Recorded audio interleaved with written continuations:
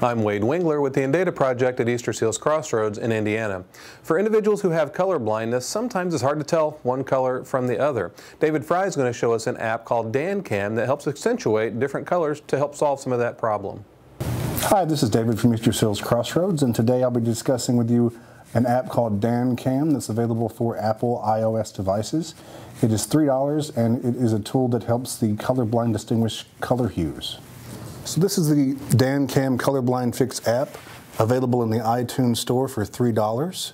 What it does is helps individuals who suffer from color blindness distinguish what here seems to be a light contrast to this, which is a much more pronounced contrast, so that they can tell the, the difference between colors, which helps them be more independent in dressing themselves and just distinguishing the, the overall color hue.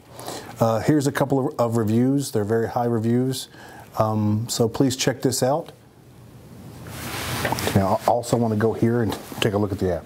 So now we're looking at the DanKam app on my uh, iOS device. It has several modes at the bottom to help distinguish contrast easier. And as you can see, as we go through different modes, it helps to highlight certain areas where the deficits may be. So that's one, for instance, that could help with a specific type of color blindness.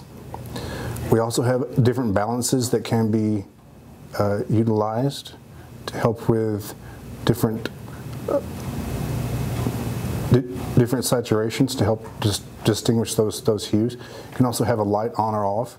You, you can also pause, which is essentially a screenshot, and then you can change your source from the front camera to the rear camera to different cameras depending on what your, your need is.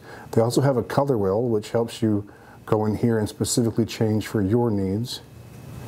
So this is the DanKam app. It's $3 on the uh, iTunes store. Thank you for watching. So there's a different way to look at colors to help folks who are colorblind. That's your tech tip for this week. I'm Wade Wingler with the Indata Project at Easter Seals Crossroads in Indiana.